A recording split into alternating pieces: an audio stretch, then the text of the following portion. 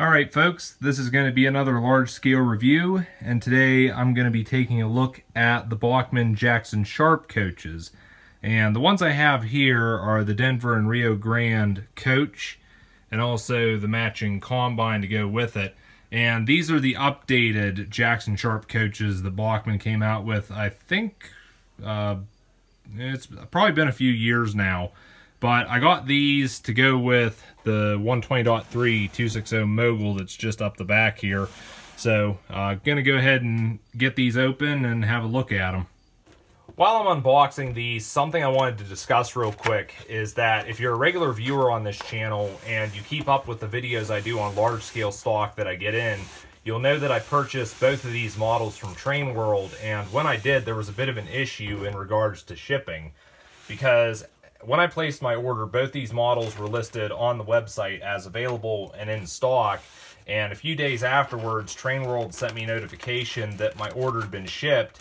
And they also included a list of the shipment contents. And both of these models were on that list.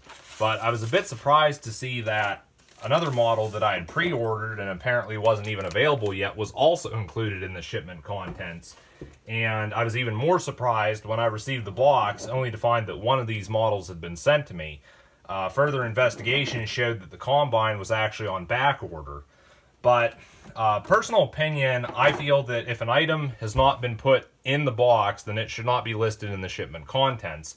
And I did a video on that and basically pointed out I felt there was an issue in Train World shipping department and somebody at Train World needed to look into it.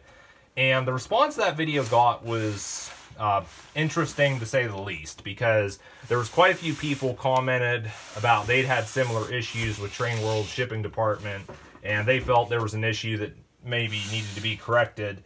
But then there were other people who basically acted like I was targeting Train World and bashing them for no reason. And I even had, I guess, somebody from Train World saw that video too, and I won't go into the details, but they basically said I was stupid and again felt like I was being unfair towards Train World. And it's like that was never the intent of that video in the first place. It was just me pointing out something that I felt was an issue and something that Train World should look into. And, you know, I even said that at the beginning of the video that I had nothing against Train World or anything like that. And I've been a repeat customer with Train World for years. I buy a lot of my large scale stock from them just because I feel they have the best prices. But, you know, people that want to basically pin me as being cruel and unfair towards a retailer when all I did was simply pointed out a problem that somebody should look into. And it's like, you want to see me really have a go at a retailer, uh, go look at my video where I investigated model train closeouts. It's like, I have no negative feelings towards Train World whatsoever, except for that one employee that called me stupid. I don't really appreciate that. Well, with the models out of their boxes, I'm really liking the look of these. And I know Bachmann's made quite a few updates to these Jackson Sharp coaches compared to the ones they did previously. One of the biggest updates I think they've made is they've converted the lighting in these over to track power instead of battery power like before. And uh, there's quite a few other changes that have been made but I think we'll go ahead and take a closer look at these. With both models, you get a bag of extra parts, and really the only things included are an extra pair of hook and loop couplers, and these are just for if you want to swap out the knuckle couplers, which are on the units already. But you also get the mounting hardware for installing the hook and loop couplers, and Bachmann even provides instructions on how to do so. And lastly, you also get a replacement bulb in case one of the ones in the unit burns out. Alright, here's the Combine, and something I noticed when I was handling this is that the front of it has not been assembled correctly. You can see there's two plastic tabs. These are supposed to clip into the bottom of the coach, and I cannot get those to go. So I think the problem is that the floor in here has not been positioned correctly, which uh, pretty much the problem stems back to when this was assembled in China, so uh, thank you to whoever didn't do their job. But other than that, the coach looks pretty good. In terms of detail, you know, we've got the sliding doors on both sides here. And there is also interior detail in the passenger compartment, nothing really in the baggage compartment. But we got seats in here. In one corner, there's a wood burning stove, and in the other corner, we got a restroom area.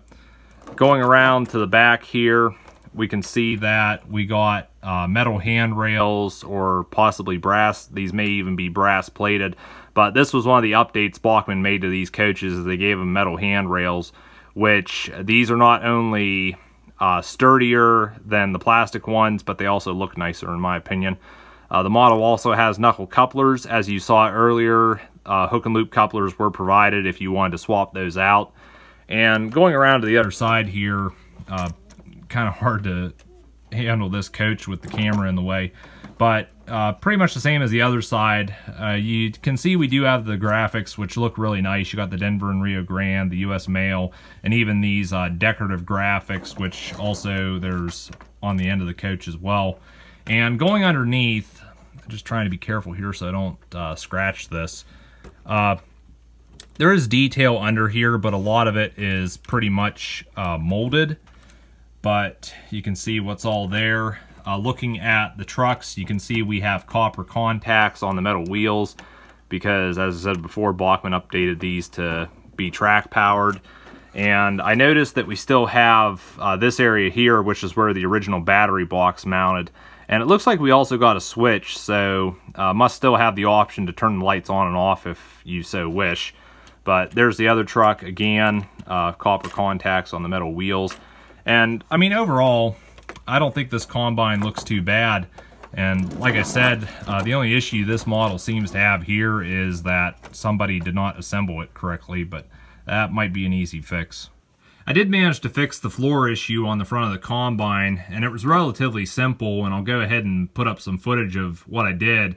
Uh, basically just stuck my fingers through the sliding door on the side and pushed on the front of the Combine, and that allowed the wall to get past the floor there and fall down and for the plastic tabs on the bottom to clip in place. So, you know, this is back together now, and uh, again, it was relatively easy, but you know, if somebody had assembled it properly in the first place, wouldn't have had to do that.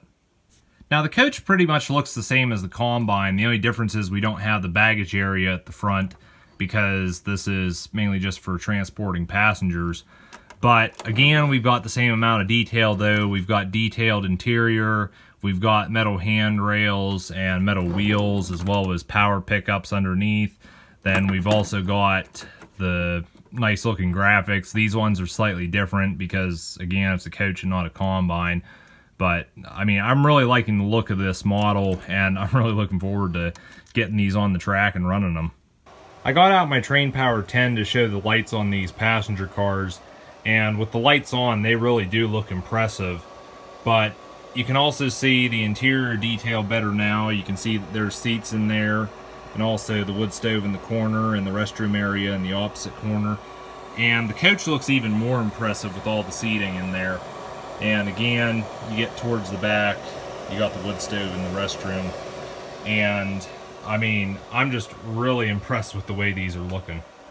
I've turned out all the lights and I'm really impressed with all the light coming off of these passenger cars. Unfortunately, the video doesn't do it justice, but it's really neat how the shadows are casting down onto the workbench. And I think these would look really impressive if you got them out, like running at night on your garden railroad. Uh, really impressive effect these cars have.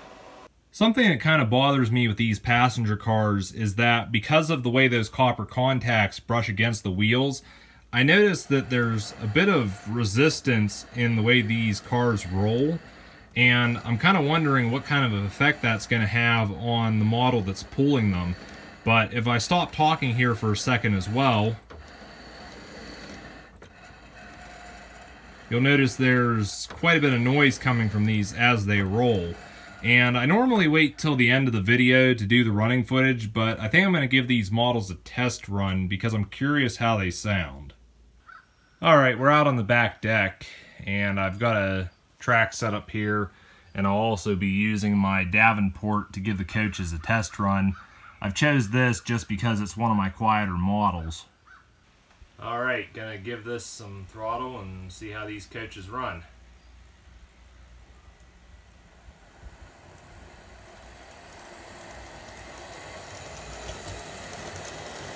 So as the train runs around here, I am noticing some squeaking from the coaches And I'm also noticing that the Davenport is having a bit of trouble pulling these.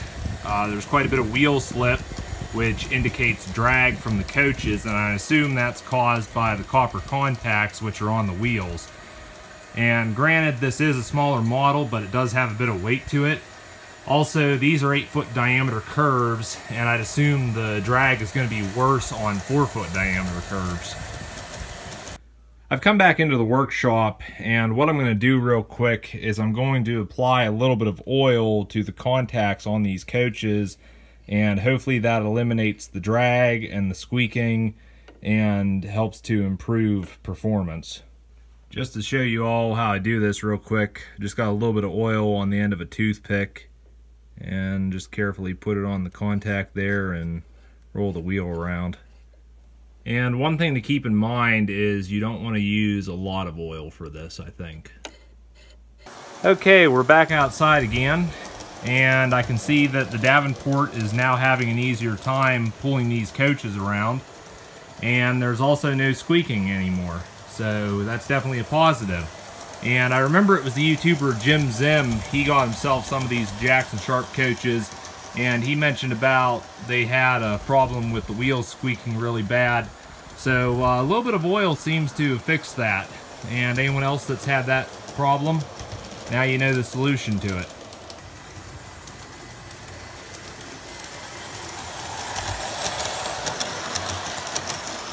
So here's a comparison of the old Jackson Sharp coach up against the new one and you can probably see that these coaches are pretty much the same in terms of design the only difference being some of the upgrades which were afforded to the newer version.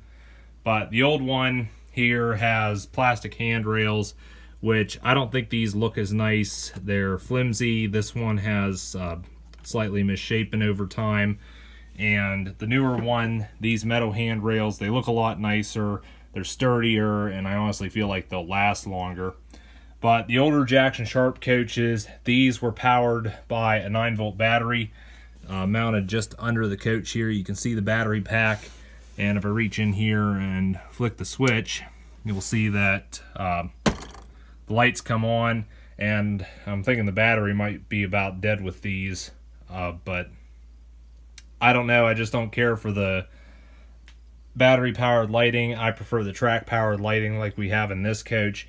And I honestly feel like the only reason Bachmann went with battery powered lighting on these coaches in the first place was just because these were included in the big hauler sets and those sets came with a 1 amp uh, controller and I just don't think they had enough power to run both the lights in two passenger cars and the sound and smoke and lights in the locomotive. But I mean, personally, I say that these newer Jackson Sharp coaches are definitely an upgrade. Now, when it comes to the cost of these models, I paid $83.99 a piece for them. You might as well call that $84.